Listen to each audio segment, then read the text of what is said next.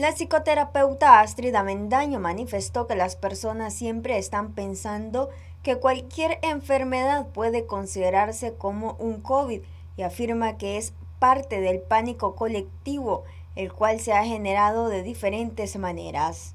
Cualquier enfermedad cotidiana como la gripe, las alergias, eh, estornudos, eh, simples cosas pueden considerarse como un COVID y realmente no, eso es parte, eso es parte del pánico colectivo, del miedo colectivo al cual se ha generado. Sabemos que siempre hay que prevenir, hay que cuidarse, hay que tomar muchas vitaminas, tomar todos los tratamientos para sus enfermedades ya crónicas. Por ejemplo, hay personas que ya tienen alergias o tienen sinusitis y otras personas se asustan por el hecho de ver que una persona tose o una persona estornuda frente a ellos, eh, aunque tenga mascarilla, aunque tenga eso, se siente un tipo de rechazo. Y creo que las personas debemos de aprender a un poco a considerar a las otras personas si tienen otro tipo de enfermedad y no necesariamente el COVID.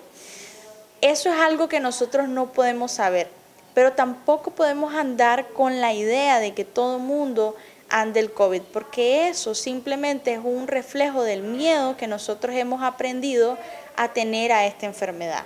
Avendaño insta a aprender a corregir sus propios errores y no discriminar a las personas que tienen COVID-19. No todos somos este, portadores, como se dice, asintomáticos y no todos somos tampoco portadores sintomáticos del COVID. Eso número uno. Dos, ¿cuál es el otro error? El otro error es creer que cuando uno ya está vacunado no se, no se va a proteger. Ese es otro mito que hay que descartar. Usted tiene que, aunque se haya vacunado, usted tiene que seguirse protegiendo.